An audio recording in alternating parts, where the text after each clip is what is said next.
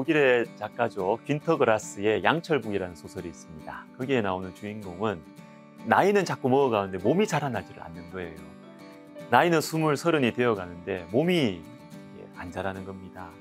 여러분 우리가 편한 대로 내 마음에 편한 대로 신앙생활하면 이렇게 됩니다. 예수를 믿은 연수는 자꾸 늘어가는데 내 편한 대로만 예수를 믿으려고 하면 자라나지 않습니다. 머리만 커지고 가슴은 굉장히 차가워지고 진리를 알게 되면 여러분 행해야 되고요. 은혜를 받았으면 다른 사람들을 위해서 땀도 흘려보고 지체들 때문에 마음도 아파봐야 합니다. 염려도 해봐야 됩니다. 희생도 해봐야 됩니다. 그래야 자라요. 늘 산에서 도 닦듯이 그렇게 신앙생활 하거나 아니면 PC게임 하듯이 그렇게 자기 세계에 파묻혀 있으면 자라나지를 못합니다. 하나됨을 위한 수고가 신앙생활에 굉장히 중요합니다.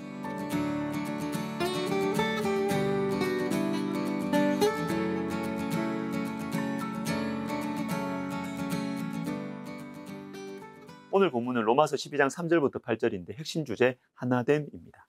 12장 1절과 2절은 예수님을 믿어서 구원받은 하나님 백성들이 실제 삶 속에서도 하나님 기뻐하시는 삶을 살아야 한다고 말씀하셨죠. 근데 이게 큰 원칙이지만 그럼 구체적으로 어떻게 살아야 되는가? 이게 3절부터 나와요. 그런데 하나님 백성답게 살아가는 모습의 첫 번째가 무엇이냐? 하나됨이 하나됨. 5절 보십시오. 이와 같이 우리 많은 사람이 그리스도 안에서 한 몸이 되어 서로 지체가 되었느니라.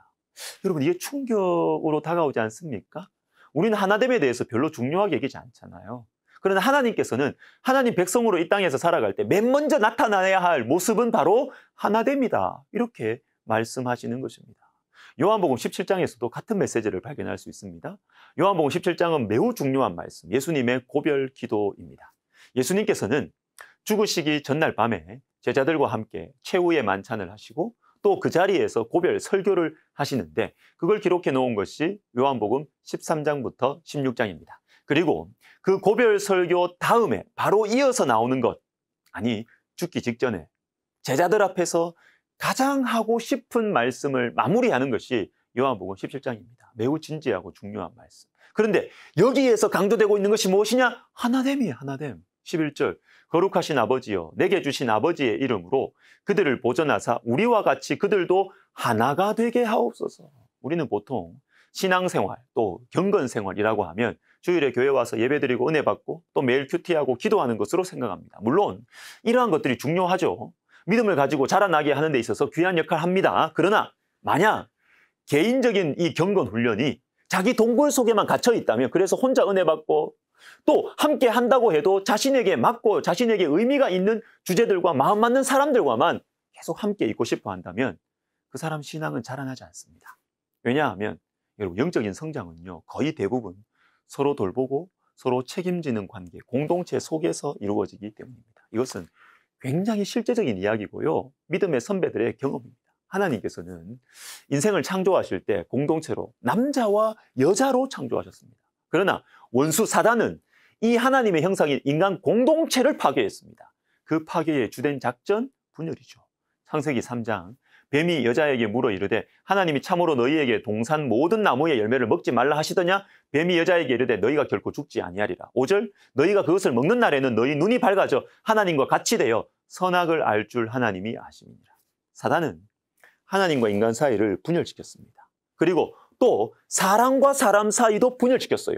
창세기 3장 12절 아담이 이르되 하나님이 주셔서 나와 함께 있게 하신 여자 그가 그 나무 열매를 내게 주므로 내가 먹었나이다. 사단은 하나님과 인간의 공동체를 파괴시켰고 인간과 인간의 공동체를 파괴시켰습니다. 이것이 바로 사단이 하나님의 창조 세계를 향하여 일으킨 반란의 시작이었어요.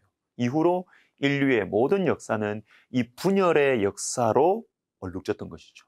신약 성경에서 이 사단은 마귀라는 새로운 이름을 얻게 되는데요. 이 말은 뜻이 뭐냐? 디아발로, 헬라어 디아발로에서 유래된, 유래된 말인데 그 뜻은 분리시키다, 분리시키다.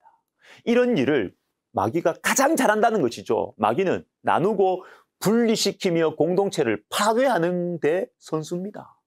여러분, 사단은 분리를 일삼는 악독한 분리와 분열의 범죄자입니다. 하나님께서 하나 되게 하신 것을 사단은 나눕니다. 하나님께서 모으신 것을 사단은 흩어버립니다. 그래서 하나님께서는 사단의 이 파괴로 나누어진 분열된 이 세상 속에서 하나님의 구원의 통로를 만들어 주셨는데 그게 바로 하나님의 공동체. 아브라함을 부르실 때도 하나님께서는 아브라함을 통해서 큰 민족을 이루겠다고 하셨습니다. 그리고 하나님의 구원 역사의 클라이맥스인 예수님께서도 자신의 죽으심으로 바로 하나님의 친백성을 만드시려고 하셨고 그래서 우리 주님께서는 제자들과 헤어지기 직전에 이 하나됨, 하나님 백성의 하나됨에 대해서 반복적으로 기도하셨던 것입니다. 요한복음 17장. 우리 주 예수님의 십자가가 하늘과 땅을 그리고 땅과 땅을 하나로 하나로 하는 것입니다. 하나님과 인간의 하나됨, 인간들 사이의 하나됨 이것을 우리 구주께서 이루신 것입니다. 그리고 바로 그 십자가의 공동체가 구주께서 피로 값주고 사신 교회입니다. 에베소서 4장 34절 평안에 매는 줄로 성령이 하나 되게 하신 것을 힘써 지키라.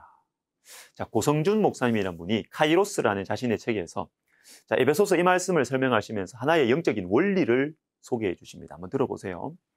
하나됨이 깨어지면 성령께서는 역사하지 않는다, 아니 못한다. 그것이 영적인 원리이기 때문이다. 생각해보라.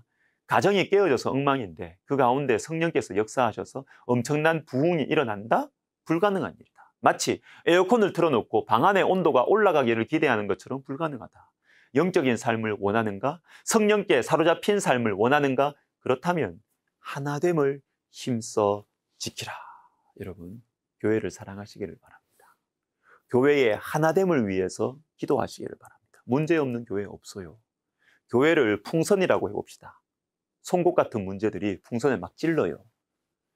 그래도 문제없는 교회 없거든요. 송곳이 막 풍선을 찔러도 기도하는 사람들이 많은 교회는 터지지 않아요. 같은 문제가 다른 교회에 생겨도 기도하는 사람들이 없는 교회는 터져요.